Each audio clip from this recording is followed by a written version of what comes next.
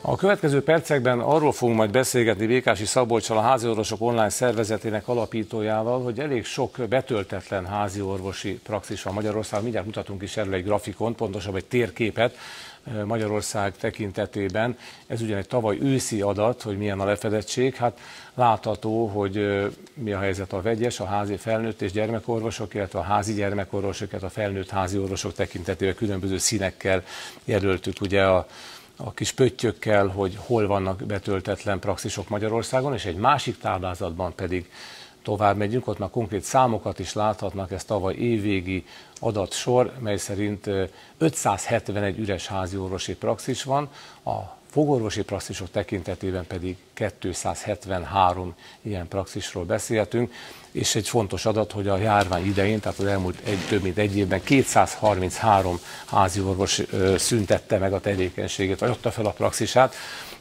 Ez ugyan lehet, hogy részben új adat Békási Szabolcs számára, és azért kérdezném a tendenciáról mégis, hogy mit gondol, mert hát azt nyilvánvalóan tudja, hogy több száz praxis betöltetlen, és ez komoly gondokat jelent szakmailag. Jó reggelt kívánok! Jó reggelt kívánok, köszöntöm a nézőket! Valóban a házi orvosi praxisok betöltetlensége egy régre visszanyúló probléma, amit mindenféleképpen rendezni kell a közeljövőben. Erről pontos információim nincsenek, hogy a járvány idején mennyivel emelkedett a betöltetlen praxisok száma, és nem is feltétlenül a járványal összefüggésben folytatódik ez a, ez a rossz trend, hanem egész egyszerűen az előregedő házi orvosi korfa, ami, ami leginkább ennek hátterében áll.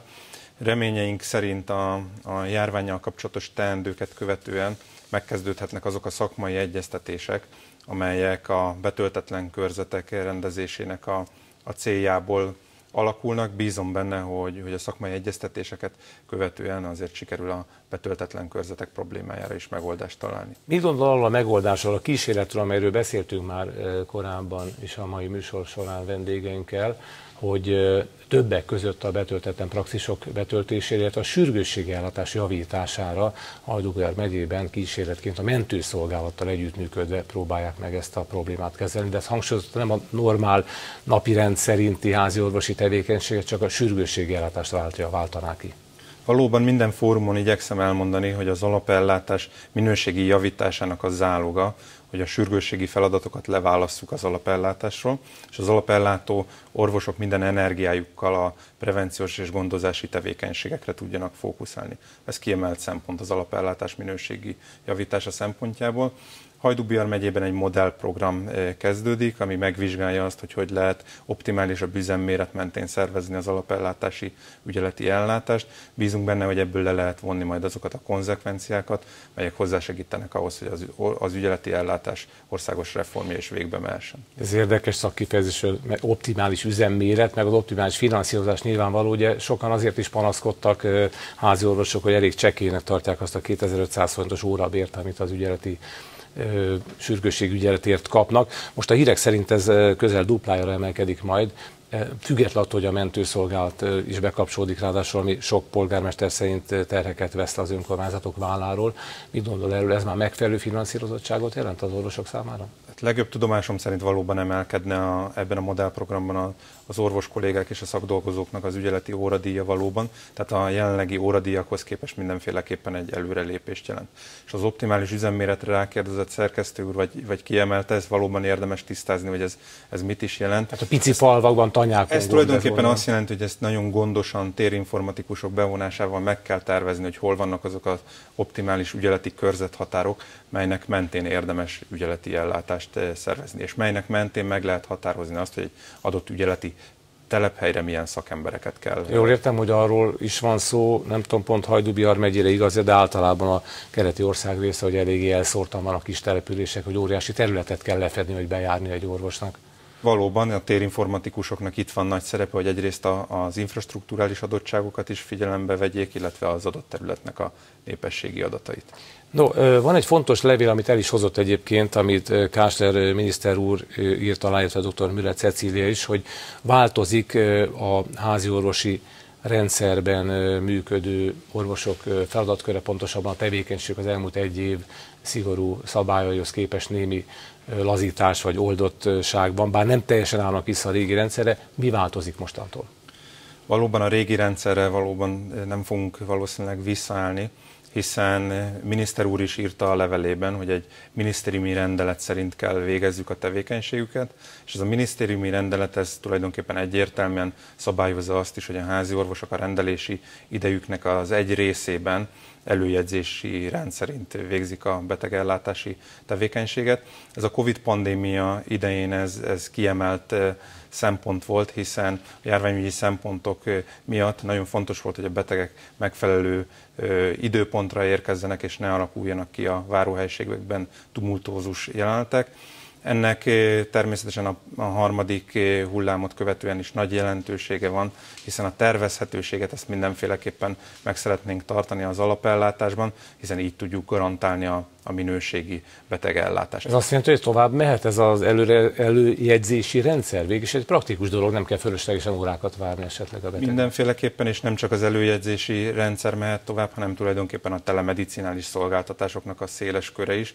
Erre is egy minisztériumi rendelet egyébként egyértelmű jogalapot Amit ne kelljen bemenni egy, esetleg egy receptért csak, vagy egy tanácskérésem, telefonon is az orvos tudja ezt Na de hát ez egy Valóban, idő, ennek idő, megvan. időbeni kérdés, hogy lesz erre idejük, vagy ezt rendelési időn kívül, vagy hogy tudják? Ezért kell tervezhetővé tenni a, a betegellátást, és ezért nagyon fontos az, hogy ne kontrollálatlan legyen a, a beteg beáramlása a rendelőkben, hanem meghatározott rendszerint történjen. Ez minden praxis kialakítja egyébként saját ellátási rendjét, és ennek megfelelően próbálja végezni a tevékenységet. Kihangsúlyoznám azonban, hogy ez nem jelenti azt, hogy a, a rendelőbe akut panaszsal forduló betegek ne kerülnének ellátásra, az ő ellátásuk eddig is biztosított volt, ugyanakkor a jelenleg is hatályban lévő Nemzeti Népegészségi Központ által kiadott eljárásrend szerint a légúti betegeknek az ellátása az továbbra is indokolt, hogy első körben telefonos konzultációval kezdődjön, és ne a rendelőhelyiségben jelenjenek meg ezekkel a panaszokkal a betegeink. Összességében az egészségügyben komoly problémák, főleg financiális alapú problémák vannak, ezen némiképp enyhített az év elején az orvosbéreknek a 100%-os emelése. Nem tudom, ez a házi orvosi praxisokat mennyiben érintette, hiszen önök ugye nem közvetlen fizetést kapnak, hanem egy magánpraxis finanszírozást. Ebben is kaptak valami plusz összeget, ami hasonló mértékű jövedelem növekedés jelentett, mint a többi orvosnak? A házi orvosi praxisokban lehívható úgynevezett bérkiegészítésnek a, a lehívhatósága az úgynevezett praxis közösségi együttműködéshez kötött, melynek több szintje van, és a legszorosabb együttműködés, a szoros praxis közösségi együttműködéssel kapcsolatos pályázatok felhívás éppen a közelmúltban jelent meg, úgyhogy pár héten belül megalakulhatnak azok a szoros praxis közösségek Magyarországon, melyek minőségi betegellátást fognak tudni nyújtani a betegeik részére. Másrésztről ezekben a praxisokban a bérkiegészítés is leívható lesz a házi orvos kollégák számára. Na, ez megnyugtatóan hangzik. Ez mennyire ellensúlyoz egyébként azokat a plusz terheket, amelyeket most éppen a járvány okozott, illetve az azzal kapcsolatos plusz adminisztráció. Például ugye most már újabban kétnyelvű oltási igazolványt kell kiállítani, ami egyes statisztikák szerint akár havi 100 plusz munkaórát is igényelt az orvosoktól. Hát a járvány okozta terheket bármi nagyon nehezen tudja ellensúlyozni, hiszen ez egy nagyon rendkívül megterhelő időszak volt a házi orvos kollégák számára is leginkább mentálisan és fizikálisan fáradtak el a kollégák, úgyhogy mindenkinek szüksége van most egy kis rekreációra. Nyilván fontos, hogy az administratív terheken is csökkentsünk. Egy jó hír, hogy a oltási igazolások azok július 1-től elérhetőek lesznek a páciensek számára két nyelven, akár az online térben is, tehát az ágazati portáról, az EST felületéről ezek letölthetőek lesznek mindenki számára, illetve szükség esetén a kormányablakokban is ezek hozzáférhetőek lesznek. Muszáj most nem csak házi orvosként, hanem a szervezet elnökeként, alapítójaként is, a házi orvosok online szervezetének alapítójaként is kérdezni, hogy mennyire vannak megelégedve a kollégáim, milyenek a visszajelzések a tekintetben, hogy hát mintha kimaradtak volna most ebből a jutalmazásból, illetve a plusz szabadságból, ugye az egészségügyi dolgozók tíz nap plusz szabadságot kaptak, ez önöket érinti, nem érinti, vagy mi a reakció erre, hogy ha nem? A háziorvosi praxisok egy kivételes helyzetben vannak, hiszen a szabadságolások kérdése az, az speciális, hiszen egy háziorvosi praxis jellemzően egy, egy mikrovállalkozás, melyben egy háziorvos és egy szakdolgozó tevékenykedik, így a szabadságolások kérdése is sokkal nehezebben menedzselhető. Megkezdődtek már azok az egyeztetések a minisztériummal, melyek, melyek próbálják valamilyen módon premizálni a háziorvosi háziorvosi praxisokban dolgozó kollégákat is. Akik hát elég jelentős terhek jutottak ugye az elmúlt egy év során, és hát még ki tudja, meddig tart majd a járványjal kapcsolatos teendők utókezelése. Köszönöm szépen, doktor Én köszönöm a meghívást. Elmondta mindezt.